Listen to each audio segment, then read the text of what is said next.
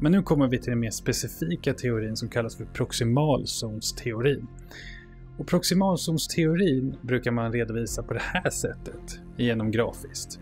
Och det är en jättebra, eh, jättebra graf att titta på, eller jättebra bild att titta på. Eh, för den hjälper en att greppa det här med proximalzonen och vad proximalzonen är och vad den gör. För i mitten så har vi det barnet eller eleven, studenten, vilken individ som helst egentligen, kan just nu eller så långt den har utvecklats just nu. Och nu hoppar vi till den här ringen som är längst ut. Och det är det vi inte kan göra just nu. Det är det vi inte kan lära oss just nu. Det är dit vi inte kan utvecklas just nu. För vi har inte tillräckligt med kunskap för att nå dit. Eller vi har inte utvecklats tillräckligt långt för att komma dit. Det är för långt borta just nu. Och då kommer vi då till ringen som är kring cirkeln, det vi kan just nu.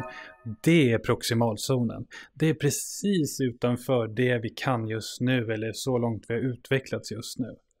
Och proximalzonen, det som befinner sig där i, det är det vi kan lära oss med hjälp av en handledare. En förälder, en lärare eller en äldre, ett äldre barn eller någon student som har kommit längre än oss. Alltså någon som vet mer än, än oss. Den personen kan hjälpa oss att nå de sakerna som är i proximalzonen. Vi ska göra det här mer konkret och prata om matematik. Så vi tar de här eh, eh, cir cirkeln och ringarna och eh, använder då matematik för att förklara den här modellen. I mitten då i cirkeln, eh, där har vi det vi kan just nu. Och låt oss säga att vi har precis lärt oss eh, addition och subtraktion. Alltså plus och minus.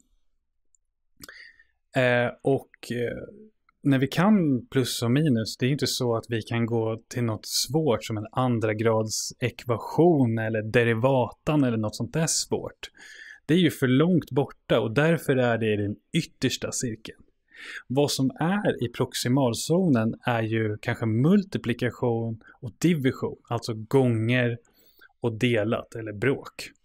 Så med hjälp av en handledare kan vi ju lära oss multiplikation när vi redan kan plus och minus. För multiplikation är ju egentligen plus ett antal gånger då. Och det är därför vi kallar det för gånger eller multiplikation. Så det ligger ju då i proximalzonen, för det kan vi lära oss med hjälp av en handledare. Och, och vad vi gör i vardagen är ju att vi lägger oss i proximalzonen när vi typ pratar med någon som inte kan lika mycket om oss inom ett visst ämne eller liknande. Eller till exempel små barn. Pratar man med en liksom två, treåring eh, och jag ska berätta att jag har varit på en föreläsning inom utvecklingspsykologi så går jag inte fram och säger så här jag har varit på en föreläsning i utvecklingspsykologi där vi pratade om Lev Vygotsky och det sociokulturella perspektivet på utveckling. Så pratar man ju inte riktigt med ett barn. De flesta vet om det här, de flesta liksom anpassar ju språket efter barnet och vi gör det nästan utan att tänka.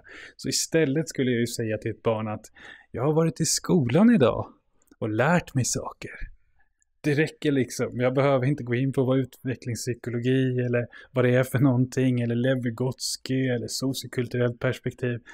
Jag anpassar mig efter där barnet är just nu. Och det vi ofta gör är att vi pratar lite mer avancerat än det barnet kan just nu. Man introducerar nya begrepp och därmed kan barnet komma upp till den nivån när vi använder lite svårare terminologi än vad de redan har. Bara lite, inte för mycket. Så det här med proximalzonen, det är någonting vi är omedvetna om eller kanske till och med medvetna om, men vi ändå använder det när vi pratar till exempel med barn. Och detsamma är ju också när vi pratar med människor som kanske inte kan lika mycket psykologi som oss. Vi anpassar ju liksom språket och använder termer då som andra människor kan förstå, eh, som inte har läst psykologi.